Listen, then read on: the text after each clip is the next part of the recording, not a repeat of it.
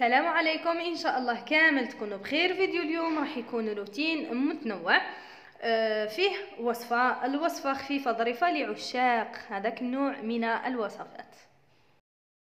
النساء كامل يحبوا النظام يحبوا التنظيم ويحبوا أي حاجة متعلقة بالتنظيم سواء المنظمات سواء أمور أخرى بسيطة آه، اللي نقدروا نديروها بلا أي حاجة. يعني فقط أنه ننظموا بأفكارنا فقط.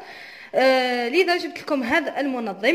المنظم هذا البنات رخيص في المتناول يدير آه normalement. إذا ما خانتنيش الذاكرة إن شاء الله برك ما ما نكونش غلط في السعر ب 35000 ألف. اللي كنت شريته من عند هشام Ménage آه فيه زوج ألوان فيه الأبيض وفيه الأسود. أنا خيرت آه الأبيض لأنه كما تعرفوا الأبيض يوالم بزاف حوايج. يعني اللي تحطيها معاها يجي معاها وحتى الأسود عنده عنده مكانه عنده أموراته.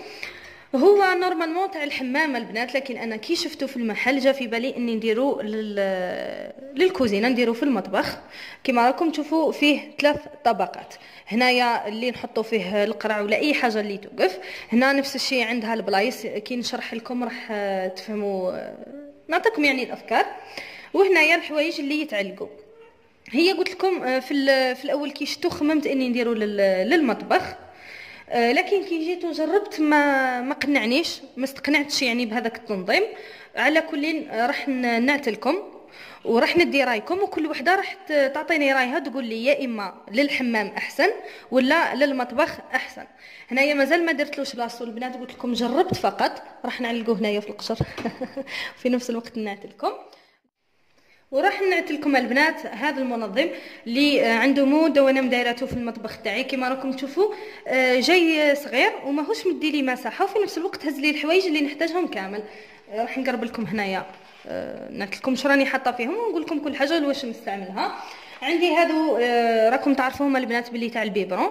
هادو هادو زوج صغار. أنا مدايرتهم spécial بلايص اللي ما نوصل لهمش هذوك الصغار واللي المهم اللي ما نقدرش نوصل لهم هذه مدايرتها البنات للقرع. هذه مدايرتها للقرع والكيسان عندي كيسان رقاق ما نقدرش ندخل يدي فيهم ينظفوا لي روعة. وخاصة إنه هذا البروسة هذه البنات هذا الشعرات تاعها خشان ملاح. ماشي من هذوك اللي بزدوا ليها ليه. هذه البنات ثاني كنت شاركتكم بها المرة اللي فاتت آه، منين شريتها والسعر تاعها ولواش نستعملها حتى هي مدايرتها خاصة خاصة للغطاء تاع الكوكوت لأنه هنايا ماضية. وحتى الشعرات تاعها آه، يابسين ينظفوا مليح. وهذا النوع فيه شحال من موديل؟ فيها هذا المستطيل فيها واحد مربع وفيها وحدة شغل مدورة هكا وبومبي يعني هاد الحواشي توصل لهم مليح. وكما راكم تشوفوا هنايا في النص مدايرة لافات مدايرة الخزم ومدايرة هذا الشيتا اللي مدايرتها هنايا للبوطاجي نظف بها البوطاجي ونظف نظف بها الكوزينه كيما راكم تشوفوا قلت لكم راني حاطتها هنايا وحاطة وراها القرعه تاع ليزيس أما بالنسبة للمنظم كيما قلت لكم آه كنت تما مدايرة في بالي بلي راح نستعملوه كيما بغيت أنايا بصح من بعد ما عجبنيش ما قنعنيش خلاص. قلت مثلا هنايا راح نحط قرعة آه ليزيس كيما هكا. والقرع تاع لي برودوي اللي نحتاجهم كل يوم. هذه هذا البرودوي البنات تاع الألومنيوم ينظف روعة. وهذه القرعة اللي نستعملها اللي مدايرة فيها هذيك الخلطة تاعي كما راكم تشوفوا. هكا. قلت ثاني هنايا نحط لافات ونحط هذه. المهم الأمور قلت اللي نحتاجهم كامل يعني اللي راهي هزتهم لي هذه. هنايا قلت نعلق هذا لي بروس صغار هكا. شوفوا البنات. هنايا هي هزت ماشي ما هزتش. بصح المنظر تاعها ما عجبنيش ما قنعنيش. أنا قلت نديرها هنايا. هنايا البنات هكا كيما راكم تشوفوا. هاي كيفاش جات. لكن صراحة ما عجبتنيش ما قنعتنيش. بانت لي شغل الحيط هنايا مشارجي بزاف وفي حوايج بزاف. يعني قبل أحسن في هذا في هذا المنظم اللي كنت مدايراتو كلش هازو في نفس الوقت ماهوش حاكم مساحة. وماهوش مبشع لي المنظر. هكا ما قنعنيش وكل وحدة راح تقول لي رايها شوفوا. كل وحدة راح تقول لي رايها وينها الأحسن. في المنظم هذا الأبيض أحسن ولا في المنظم البرتقالي خير وخير. وراح نعطيكم في الحمام كيفاش راح يجي.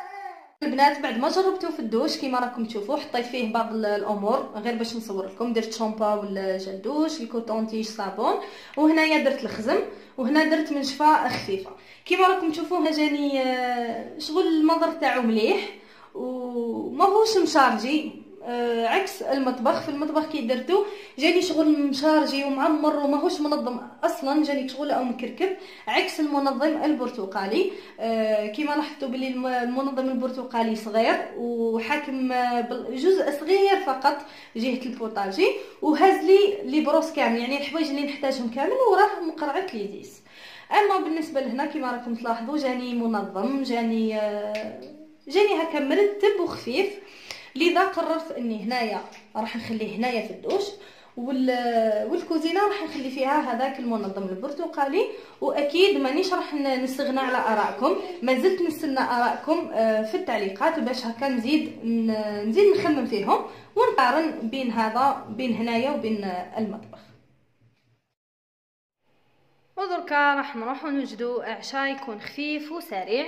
آه، بوصفة تقليدية واللي هي بيتزا سميت ولا بيتزا الفوقاس كل واحد كيفاش يسميها. المهم هي بيتزا زمان اللي آه، بالنسبة لي أحسن آه، أحسن شحال من مرة من البيتزا تاع الفارينه لأنه هذا البيتزا البنات قد ما تصبح قد ما تبقى جديدة. يعني غير نسخنوها هكا في المقلة برك راح ترجع كأنه هذاك وين طيبتيها. العجينه نحتاجو فيها. زوج كيسان سميد كاس فرينة نص كاس ولا فنجال تاع زيت. وعندي هنايا مغرف معمرة مليح خميرة وسكر. كما شفتوا أنايا دائما نخلط الخميرة والسكر مع بعضهم. ونلمهم بالماء الدافي. هنا تقدري تضيفي لها آه، مغرف ولا زوج تاع لحظة. ونخليوها تتعجن مليح. عجني بيدك اللي ما عندهاش البيتخا عجني بيدك المهم تكون العجينة مرخوفة وطرية.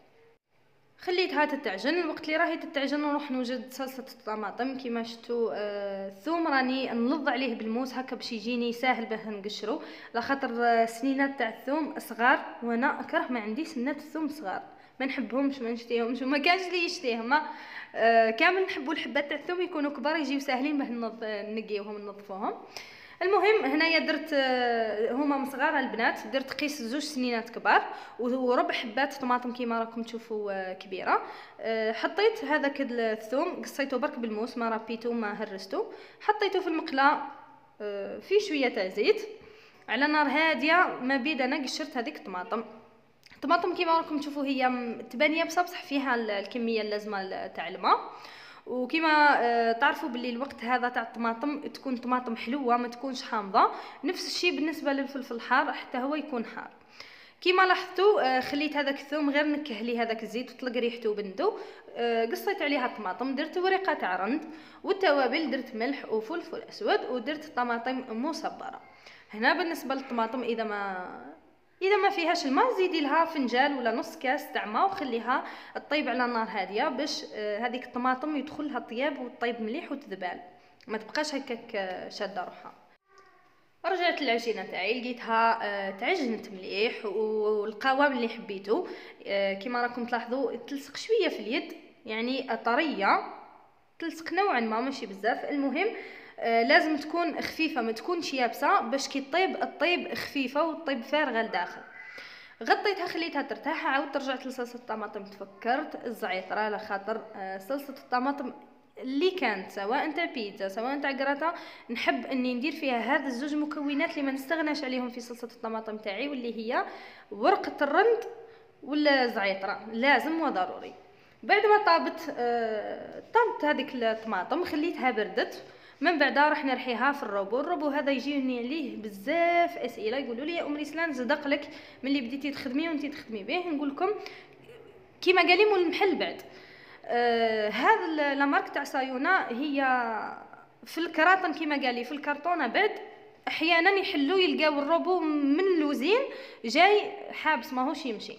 يعني هذا هذا الروبو راهو يمشي زهر كاين اللي يصدق لهم وكاين اللي ما يصدق لهمش. أنا الحمد لله حكم لي. آه، خالتي شراتو ثاني ما صدق لهاش يعني كل واحد وكيفاه على حسب. قلت لكم من لوزين من عندهم.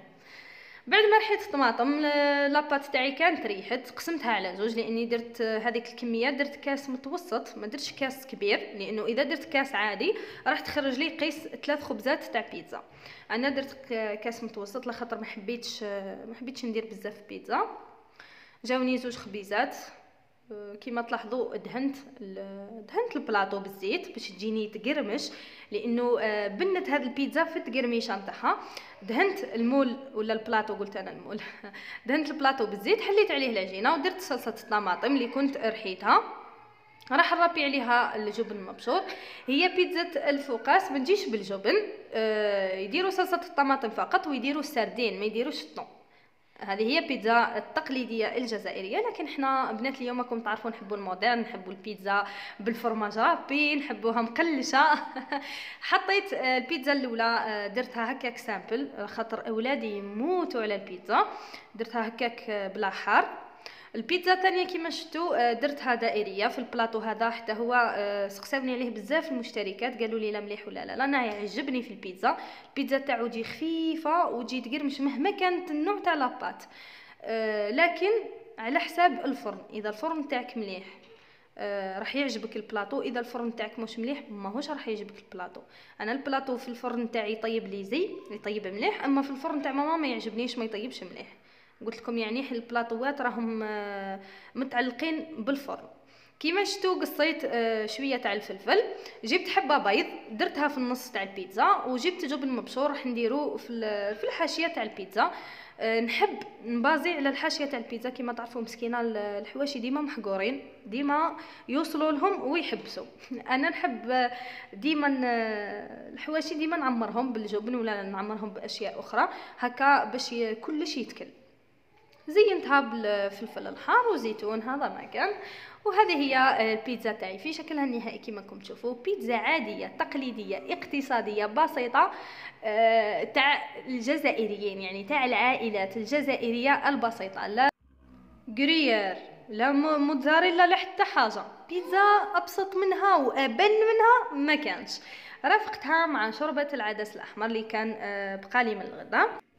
كما تعرفوا آه، أنواع الشوربة آه، ترافقها بزاف لي سوفلي الفطائر بأنواعها البيتزا البوراك وغيره.